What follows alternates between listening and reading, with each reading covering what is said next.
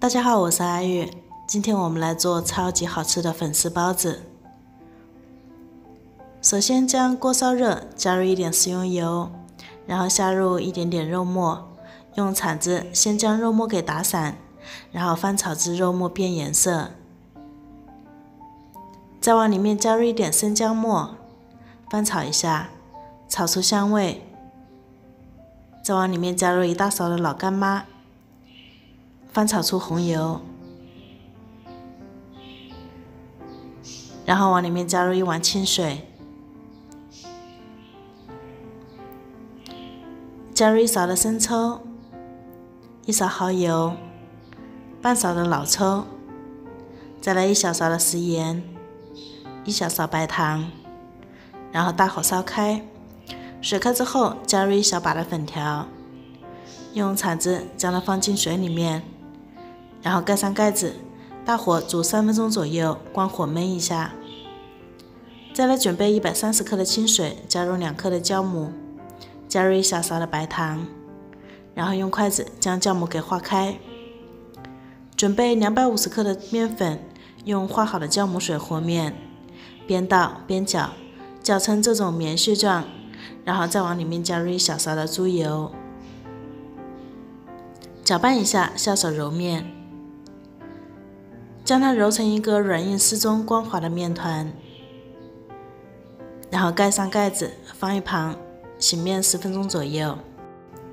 这个时候粉条已经将水分全部吸干，然后将它倒进碗中，用剪刀将它剪成小段，没有剪刀就用铲子将它铲成小段。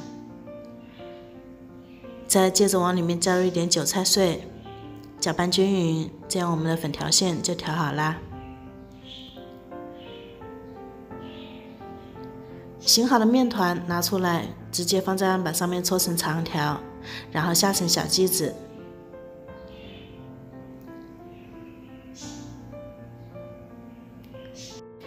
案板上面撒一点干面粉，剂子的切面朝上按扁，用擀面杖卷着圈来擀，擀成中间厚、边缘稍薄的包子皮，然后打上一大勺的馅料，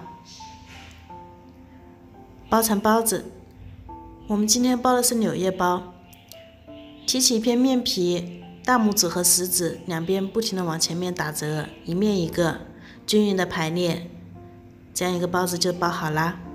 不会包的朋友可以再看一遍，这种包子的包法是非常简单的。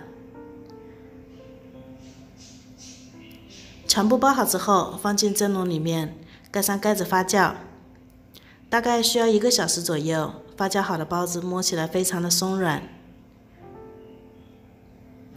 水开之后，大火蒸，十三分钟之后关火焖一分钟，我们的粉条包子就可以出笼了。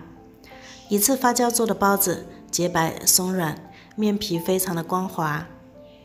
看一下，这样做好的包子比外面卖的还要好吃。打开，里面的馅料满满的。粉丝馅带一点点的微辣，吃起来超级的解馋。感兴趣的朋友赶紧来试一下吧！喜欢我的视频就请为我点个赞，关注我，解锁更多美食。我是阿玉，拜拜。